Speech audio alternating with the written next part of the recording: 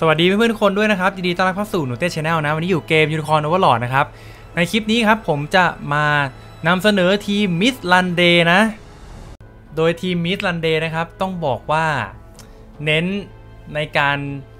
ให้ Melisandre นะครับ มีที่ยืนแล้วกัน ผมพูดอย่างนี้นะครับ เพราะว่าต้องบอกว่าอาชีพ Swordmaster เนี่ย มันค่อนข้างที่จะหาทีมลงตัวลำบากคือถามว่าจุดเด่นมันมีไหมมีครับ ซอนมาสเตอร์เนี่ยจัดการพวกตัวที่แบบสายพริ้วๆอะได้อยู่หมัดเลยนะครับเพราะการโจมตีเขาเนี่ยเป็น True Strike แต่ว่ามันจะไปตายพวกแบบเจอโล่หนาๆอะไรเงี้ย แล้วตัวเขาเองเนี่ยมันก็ไม่ได้หลบดีอะไรขนาดนั้นนะครับ ฉะนั้นคือถ้าเกิดจะเอาเข้าเนี่ยบางทีก็จะเอาไว้ข้างหลัง หรือเอายืนข้างหน้าเป็นตัวแถมๆอะไรเงี้ย แต่บางทีมันก็จะตายง่ายนะครับ ฉะนั้นน่ะมันก็เลยหาที่ลงลำบากนิดนึงนะครับ แต่ด้วยความอวยของผมนะครับ เพราะผมชอบ Melisandre ผมเลยจัดทีมมาจนได้นะก็ต้องบอกว่าทีมนี้ก็เป็นทีมดีระดับหนึ่งนะครับ อาจจะไม่โหดแบบ perfect ขนาดนั้น มันก็มีจุดอ่อนอยู่บ้าง แต่ก็คือเป็นทีมที่ใช้งานได้ดีในระดับหนึ่งเลยนะซึ่งตัวละครที่ผมเอามาใช้กับ Melisandre นะครับ ก็จะเป็นตัวที่ไม่ได้เคยใช้กับทีมอื่นมากนักนะครับ อย่างเช่นอาชีพเบเกอร์อย่างเงี้ย ผมก็ยังไม่เคยใส่ในทีมอื่นมากนักนะครับ ก็เลยเอาเข้ามานะ ก็มันเป็นส่วนผสมที่ค่อนข้างกลมกล่อมนะครับ เดี๋ยวจะบอกให้ทีละตัวละกันนะครับว่าแต่ละตัวเนี่ยทำหน้าที่อะไรบ้างนะครับ เริ่มจาก Melisandre แล้วกัน Melisandre เนี่ยเป็นตัวทำ damage นะครับ เราจะเน้นโจมตีศัตรูที่ไม่ไม่มีไม่ใช่เกราะแบบหนามากนักอะไรอย่างนี้ แต่เนื่องจากบางทีถ้าเจอศัตรูที่มันมีเกราะหนาเนี่ยเขาจะมีพวกท่ากาดกันอยู่แล้วนะครับ ฉะนั้นมันก็เลี่ยงไม่ได้ที่จะ Melisandre ต้องโจมตีเขาก็ช่างมันนะครับ แต่ว่าในช่วงการออก action ที่ 2 หรือที่ 3 อะไรเงี้ย หรือในบางตี้ที่ไม่ได้เจอเกราะหนาๆนะครับ Melisandre จะค่อนข้างโดดเด่นนะครับจะ kill ศัตรูได้ค่อนข้างเยอะนะต้องบอกว่าตัวนี้ใช้ของเยอะเหมือนกันนะครับ เพราะว่าการที่จะรีด damage ให้มันสุดเนี่ยมันมันต้องเอาของให้สุดจริงๆนะของผมเนี่ยจะใช้เป็น Dancer Delight นะครับ อันนี้จะมีสกิล Leaping Slash นะครับ แล้วก็ได้ Critical Rate อีก 10 ด้วย Leaping Slash เนี่ยมันข้อดีก็คือ เราจะได้ AP บวก1ทันทีนะครับ ถ้าเกิดโจมตีติด Critical แต่ข้อเสียก็คือ การโจมตีเนี่ยครับจะลบ Critical Rate ครับ 30%แล้วจะสแต็กด้วยนะครับ ก็ยิ่งโจมตีเรื่อยๆ ค่า Critical Rate ก็ยิ่งต่ำลงเรื่อยๆ นั่นแหละ ฉะนั้นเนี่ยเบสสแตตตัวนี้ครับต้องทำ Critical Rate ค่อนข้างสูงนิดนึง เพื่อที่จะได้โบนัส AP มานะครับอ่าแล้วก็อีกอาวุธหนึ่งก็จะเป็น Kring b a d c o n i c ครับ อันนี้ผมเน้นเอาสแตตบวก 5 ทั้งหมดนะก็จะทำให้มิลันเดเนี่ยเก่งขึ้นนะครับ แล้วก็เครื่องประดับผมใช้ Ancient Cloud เลย Ancient Cloud เนี่ยก็จะได้ PP Point บวก1แล้ว Offset บวก5ด้วยครับก็จะได้สแตทเพิ่มขึ้น แล้วก็อีกอันนึงครับผมใช้เป็น Eye Patch อันนี้ เพิ่ม Critical Rate 30%ครับ เพื่อที่จะเน้น Critical Rate ให้มันสูง ของผมเนี่ย Critical Rate ถึง 90%เลยทีเดียวนะครับ ก็มีลุ้นเลยครับว่า Leaping Slash เนี่ยโจมตีปุ๊บเนี่ยมันโดนแน่ ๆ นะครับ ติด critical แน่ ๆ นะ แล้วก็สกิลเปิดก็จะเป็น สกิล Hastened Strike นะครับ อันนี้ก็เปิดปุ๊บก็โจมตีศัตรูเลยนะครับ ผมก็จะเล็งพวกแบบเป็นสเกลอะไรอย่างเงี้ยซะส่วนใหญ่นะครับ เพื่อจะเน้นให้สกิลเนี้ยมันโดนศัตรูแล้วศัตรูตายไปเลยนะครับ แล้วก็ที่เหลือก็จะเป็นเมโ o ส l a s h นะครับ เมโ o ส l a s h ก็แรงนะครับ โจมตี physical 20 แต่ 9 ฮิตนะฮะ แล้วก็ได้ Critical Rate บวก 30 ด้วยนะครับ แล้วก็พอ turn ที่ 2 เนี่ยจะใช้ Leaping Slash แล้ว เราก็จะได้โบนัส AP ถ้าเกิดติด criเราก็จะได้โจมตีเพิ่มอีกครั้งหนึ่งเป็นต้น ก็โดย loop โดยประมาณ Melisandre ก็จะตีประมาณอย่างน้อย3ครั้งนะครับในการโจมตีครั้งหนึ่งนะถัดมาครับตัวที่สำคัญในตี้นี้เลยนะครับ ก็คือน้องเลเนสนะครับ Featherbow นั่นแหละ น้องเลเนสทำหน้าที่อะไรครับหลักๆเลยนะครับ มี 2 หน้าที่ครับ หน้าที่แรกเลยที่สำคัญคือ Shining Light ครับทำให้ศัตรูตาบอดครับทำให้แถวหน้าเราเนี่ยไม่ตายรวมถึงแถวหลังด้วยนะครับ ศัตรูตาบอดก็ชิวๆเลย เราก็หลบได้แน่นอน 100%นะ อันเนี้ยการบิวเซตนี้นะครับ ต้องต้องทำ PP พอยเยอะหน่อย เพราะว่า Shining Light มันใช้ถึง 2 PP เลยนะครับ ตาหนึ่งเราก็จะสามารถใช้ท่านี้ได้ 2 ครั้งนะ ฉะนั้นจุดอ่อนของตี้นี้คือถ้าศัตรูมีการโจมตีต่อเนื่องเยอะๆ เราจะลำบากนะครับ เพราะว่า Shining Light พอใช้หมดปุ๊บเนี่ย ก็มีความเสี่ยงแล้วว่าเราจะโดนโจมตีเป็นต้นนะครับ แล้วก็ ตัวนี้อีกจุดเด่นก็คือมีชาววินนะครับ Tailwind จะเพิ่ม speed ให้กับทีมงานเราครับ 10 อันนี้เพิ่มเป็นแถวนะ ก็ผมจะเน้นเพิ่ม back row นะครับ เพราะว่าตัว damage จะอยู่ข้างหลังนะครับ เป็นเบรกเกอร์นะ แล้วก็อีกหน้าที่หนึงที่สำคัญนะครับ คือ Photon Arrow ครับ Photon Arrow เนี่ยคือศัตรูเนี่ยถ้าไม่ตายนะครับ จะโดนลด physical defense ลง 50%เลยทีเดียว แล้วถ้าเกิดยิงในช่วงเวลากลางวันอะ จะพัดมีมี passive seal ด้วยนะครับ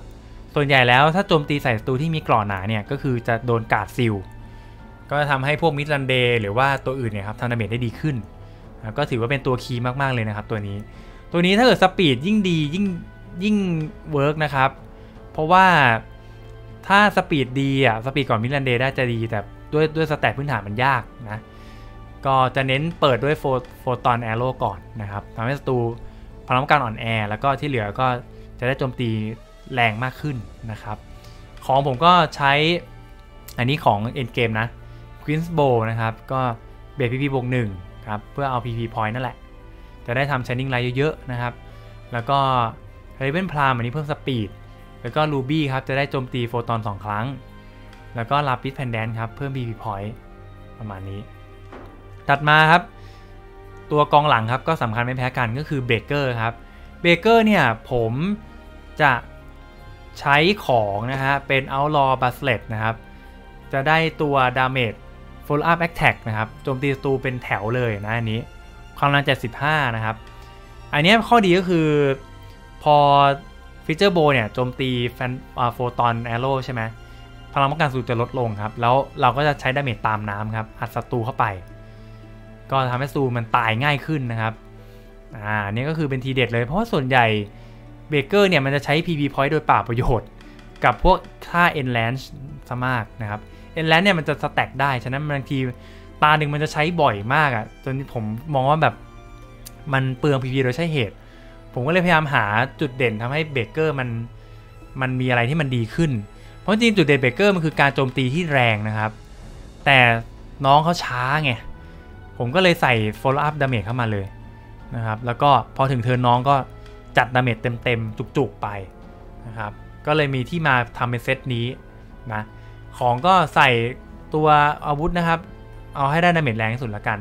แล้วก็ใส่ speed มานิดนึงนะครับ แล้วก็ใส่ PP point เพื่อทำ follow up attack ได้บ่อยขึ้นนะแล้วก็อันนี้ใส่เป็นการโจมตี follow up นะครับ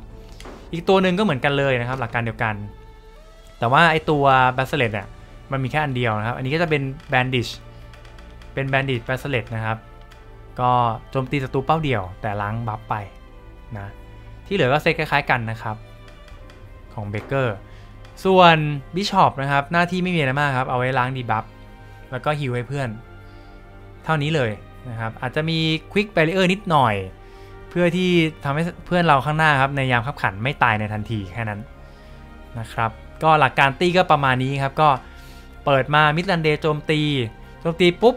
Breaker follow up damage ไป แล้วก็พอถึงเธอ Featherbow ครับ โจมตีศัตรูลด defense นะ แล้วเกิดศัตรูได้ turn ก่อน ใช้ Shining Light ครับทำให้ศัตรูตาบอดนะก็จะทำให้ตี้เราเนี่ยค่อนข้างที่จะเอาชีวิตรอดได้ดีครับ แล้วก็ damage ได้ดีด้วย โอเค ก็เล่ามานานเลยทีเดียวนะสำหรับ concept ตี้นี้เพราะมันค่อนข้างที่จะซับซ้อนนิดนึงนะครับ ก็เดี๋ยวไงไปดูการต่อสู้เลยแล้วกันนะ ก็มาที่โคลอสเซียมนะครับศัตรูของใส่เนี่ยมันค่อนข้างโหดนะครับ ก็จะได้มาเทสกันครับว่าทีมมิดลันเดย์เป็นยังไงบ้าง มาลุยเลยกันครับ อันนี้ศัตรูเกราะหนาเลยนะ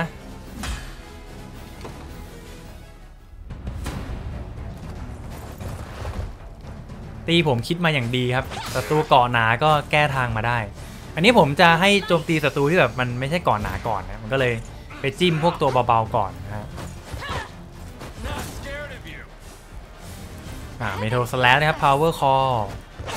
โจมตีไปเรียบร้อยหนึ่งศพอ่านี่ Charged Impetus ครับ ได้ AP 1บวก critical ด้วยนะ อันนี้ศัตรูโจมตีมาครับ Shining Light ครับ ตาบอด ไม่โดน เอาละ Photon Arrow ครับ ลด def ศัตรูไปฟิสิคอลดาว 50%นั่นแหละครับ โฟล์อัพดาเมจมาแล้ว ต่อเนื่องครับผม เอาละครับรอสแมทครับมาแล้วครับ แล้วก็บัฟเ o าฟูคอลาเมตามเรียบร้อยครับกองหน้าหายไปแล้ว รอสแมัต่อครับข้างหลังอื้อหือจุกจุกวายสแมัหลบได้Arc Flame ต้องระวังนะวันนี้ อย่างที่บอกครับพอใช้ Shining Light หมดปุ๊บเนี่ยมันก็เสี่ยงละชีวิตจะเสี่ยงนิดนึง Shall pay. เอาละครับยังเหลือ AP ครับในกองหน้าของเรา Take care of อ่า yourself. ฮิวให้ครับ มา Leaping Slash ติดครินะครับ ได้ AP 1 ครับ Delay Shot อืม เรียบร้อย A worthy victory. มาครับ มาต่อครับ ตีเกาะหนาแล้วก็มีตัวพิ้วๆด้วย ก็จะเห็นได้ว่าตีของผมก็พยายามแก้ทางศัตรูมาระดับหนึ่งเลยนะ เปิดมาไม่เป็นไรครับศัตรูกันได้ Heaven's มิ blessing. โนสแลดพาวเวอร์ฟูลคอครับอัดไป บางทีก็ต้องทำใจครับศัตรูมันกันอย่างนี้ชาร์ดิบัตัสมาดาเมจแถมแล้ว ต่อเนื่อง มา Photon Arrow ครับลด def อืมโดนเข้าไป มาเพิ่ม speed แถวหลังครับแบนดิตพ r สูดโจมตีต่อเนื่องนะครับ ต่อครับ Row Smash มาแล้ว เรียบร้อยครับกองหน้า เหลือหนึ่งตัว damage แถมเรียบร้อยเอาละ Row Smash ต่อครับแถวหลังเต็มเต็มๆมาศัตรูโจมตีเหรอชายนิ่งไลท์ตาบอด ไม่โดน You'll be okay. เอาละครับ Leaping Slash ไม่โดน ไม่เป็นไรใส่เซนช็อตไม่โดน Blessed winds. เพิ่มสปีดข้างหลัง ไม่ได้ใช้อะไร Lightning Blade อุ้ยโดนมึน อ่าฮิวครับ ล้าง debuff โอ้ยโดนอีกแล้วหลบได้ มา Delay Shot อืมเรียบร้อย มาเจอแก๊งทหารม้ากันบ้างครับ กับพวก Wyvern มาอัดก่อนเลย โดดลดสปีดครับ I was worried there. ล้างดีบัฟไป The heavens เอาละเมโทรแซดอัด powerful call ด้วย เรียบร้อยหนึ่งศพทหารม้า I've only just ชาร์ดิ begun. บัตัสครับ เอา AP Arrow of light. โฟตอนแอโร่มาลดดิฟ อืม The winds blow เพิ่ม ever สปีดให้แถวหลัง Right behind. ดาเมจตามมาแล้ววายเพอร์สูดอีกทีไหมล่ะ Oh, light. มาตาบอดครับ ไม่โดนฟายเบสไม่โดนเหมือนกันดาเมจตามอุ้ยโดนนิดนึงเอาละเพิ่มแม่นพร้อมครับรอสแมชอีกทีไหมล่ะดาเมจตามไอคอร์สโอ้ยแรงอุ๊บโอ้ยยังดีหลบได้ครับ อืมนั่นแหละครับสวยฮิวครับผม เอาละ Leaping Slash โอ้โห ไม่โดน High Swing อุ้ยโดนไป Photon Arrow เรียบร้อยหนึ่งศพอุ้ย Guard Counter Assaulting Blow นั่นแหละครับเนี่ยอย่างที่บอกครับว่าแถวหน้าถ้า Worthy victory. Shining Light หายเนี่ยเสี่ยงมากเอาละครับมาที่ด่านสุดท้ายนะครับ Empire Fallen นะ ก็มาเทสกันครับว่ามิด l ันเดย์ครับตี้นี้ จะเป็นยังไงบ้างครับ นี่ครับ จัดการศัตรูได้หมดเลย โอ้โห นี่ damage แรงมาก นี่ฮะ เรียบร้อย อือหือ เกราะหนาๆแล้วยังไงก็ฆ่าได้ นี่เรียบร้อย ไหนดูบอส Galerius สิ โอ้โห ฆ่าได้นะฮะไม่ธรรมดา เพราะว่ามันมี Meteor Slash อยู่แล้วนะครับ อ่า นี่ก็ฆ่าได้ครับ จัดการได้หมดเลย โอ้โห ไงฮะ บอกแล้วครับ work นะ You'll regret this. มา damage เปิด The heavens Meteor Slash ครับ เพิ่ม powerful call through. อืมไม่เข้าไม่เป็นไรครับ I'll enjoy this. มา damage แถม อีกที มา Photon Arrow ครับ ลด def สวยงาม เพิ่ม speed Bandit Pursuitมาครับอัดอีกทีหนึ่งรอสมชรอสแมชอีกที มาตาบอดครับ ไม่โดน ไม่โดน ไม่โดน Dipping Slash เรียบร้อยได้ AP หนึ่งด้วย Delay Shot สปีดตกนะครับฝั่งนู้น เพิ่ม speed ไปครับ นี่ damage ตาม Leaping Slash เรียบร้อย It was inevitable. I'll crush you. มาเจอตี้อูบินครับ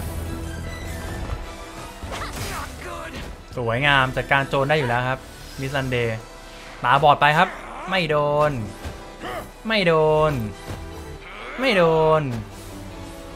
มา Powerful Call Meteor Slash อืม I've more where that came from. Oh, light. มา Shining Light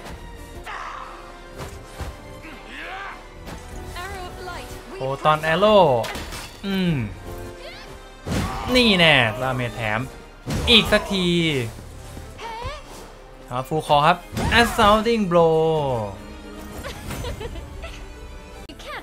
มาครับ เจอทีมพิวๆบ้างครับ